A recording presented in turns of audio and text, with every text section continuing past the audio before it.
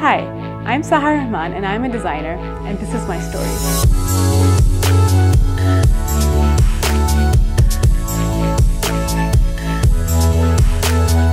So I was born in Saudi Arabia, Jeddah, and from there we moved to Pakistan and we were raised there and then we moved to Bangladesh and finally that was our final destination. So uh, when we moved to Bangladesh, I think that was like the biggest change of our lives uh, because, you know, even despite having like uh, Bengali parents, Otaporo, you know, the language, uh, Bangla was like French to us তখন.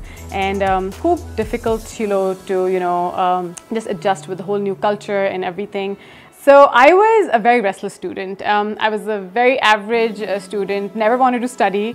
Uh, I used to love sports. Um, I used to be in the playground all the time. So at a very young age, Ami figured out Korefil Salam that I'm actually a creative soul um, and I was very inclined towards designing. Uh, Chota thike, you know, just me and my sister Amana, we just designing clothes together. And you know how Bonra Kore, you know, makeup, clothes and fashion, it used to really attract us. So Choto bola আমরা সবসময় আমাদের নিজে কাপড় design করতাম I know sound so cliche so I remember the story আমরা I was I think around fourteen and I just decided I want wear something really different to this uh, birthday party and I teamed up capris and a slant cut shirt, uh, I mean kameez. Uh, যেখানে the norm was everyone used to wear like a basic cut, straight cut kameez with shalwars. That's what was in.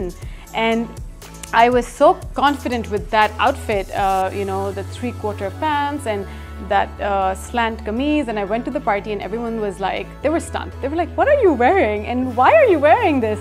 Um, but I think, you know, just the fact, the Chorobatike, you know, just the confidence in myself that uh, I can rock this outfit and I believe in the design was always, um, you know, with me. After a few years, actually, that design was in fashion and, um, you know, everyone loved it, got so popular. So as I grew up, um, you know, I never wanted to just like go in the BBA or accounts line for sure because I was a creative soul. So I wanted to study fashion and uh, that's when I started looking up into universities, um, you know, abroad. And I was so excited because I really wanted to go and study fashion um, in New York or London, whichever worked. But then when I started applying, I just uh, realized that their first requirement was that you have to send them an illustration, like a fashion illustration, and that's how they will judge. And guess what? I did not know how to make a fashion sketch. And uh, I just saw my dream getting shattered right there. And I remember being so upset uh, because I was never the, the sort who would learn something, you know, just things just came very naturally and very creative bhabe to me.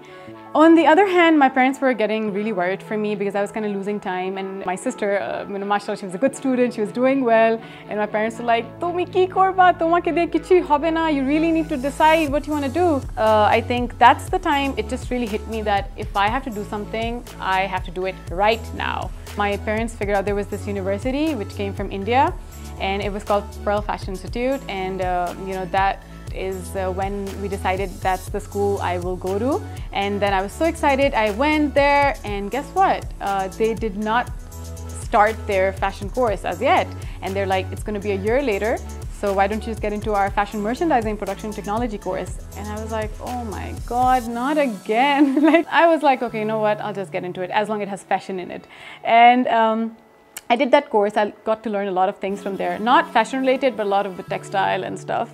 So once I was done with the course, uh, my faculty placed me in the best, uh, you know, one of the best brands. That was H&M. It was so nice of them that they chose me to go to H&M and learn all the trade tricks. And I was at H&M for six months um, doing my internship, and I really liked it. But I realized this is not my cup of tea, and I didn't want to do this because it was so hectic and uh, you know just the 9 to 7 job is not for me. And uh, i left it. That was the time when my parents were really upset and they thought that i actually don't have any focus in life. I was like this is the time. This is it. This is what we do. I just went to Chandni Chowk. That was my first experience going to Chandni Chowk with my sister. And um, Amana has always been, you know, such a big support for me. You know, we both going there, hunting down key fabric, achana acha, you know, without knowing a lot of things about the market here. Because when you're young, you're so busy, you don't go to Chandni Chowk. You know, you're studying or you're hanging out with your friends.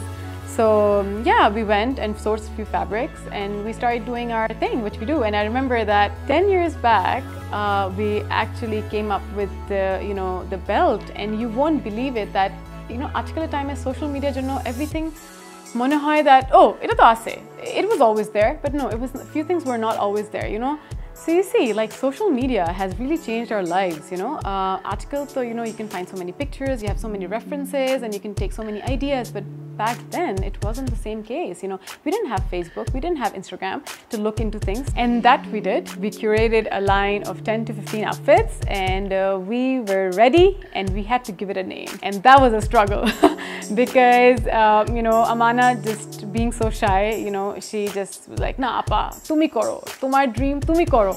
I'm there with you. And you know, um, that's when she gave me that push and we called my brand Sahar Rahman by Sahar Rahman. So our next uh, step was opening a Facebook page. Uh, Facebook তখন মাত্র launch হয়েছিল and I think that was like the best platform to just let everyone know that hey, you know, we are open to all now. Um, you know, তারপর আমরা একটা পর একটা exhibitions করতে গেলাম, বাসা, you know, hotel, everywhere and people wanted more and more me and Amana, we were truly overwhelmed. And you know, we were so happy.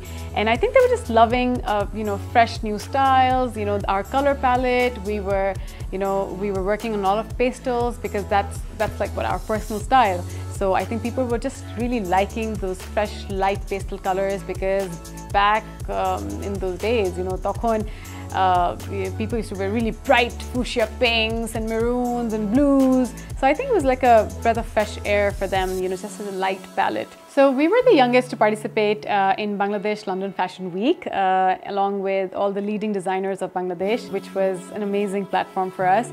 Uh, we have been doing exhibitions in Dubai, in Bangkok, uh, which is amazing. I think Dubai experience was amazing because there were so many Bengalis who came in uh, because it was the first Bangladeshi brand to uh, participate in that exhibition in Dubai. Also a few years back, we launched our shoe line and potli line, which is called Monroe. I did that with my best friend. Um, it was a dream come true because I always wanted to have a shoe line. So, you know, after all this, you know, we finally decided that we need to open a bigger and a better store so we can, um, you know, carry more collection, more people can come in and just they can have an experience of what actually a designer outlet can look like, what a designer store looks like, so they can have the same experiences what they are getting outside. See, সবার একটা taste থাকে, একটা personal style থাকে, you know, a sense of fashion which they have, um, you know, in them.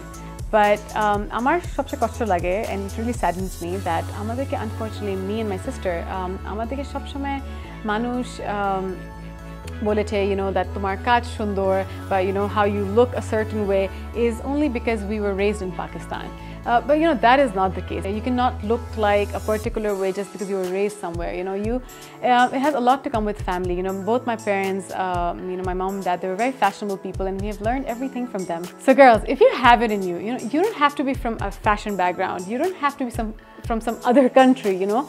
If you believe in yourself, you know, people will eventually see it. And um, you can just work really hard, be honest with yourself and just keep on proving. মাঝে মাঝে অনেক breaks চলে আসে life, you know, but it doesn't stop here. Don't get disheartened, you know. Just keep on chasing your dream. Keep on dreaming that I will be somewhere. I dreamed that I want to be a designer and I will show the world that I, I have it in me. And um, you can do that too, you know, so never give up. Thank you so much, Daekhopedia, for covering my story. It has been wonderful.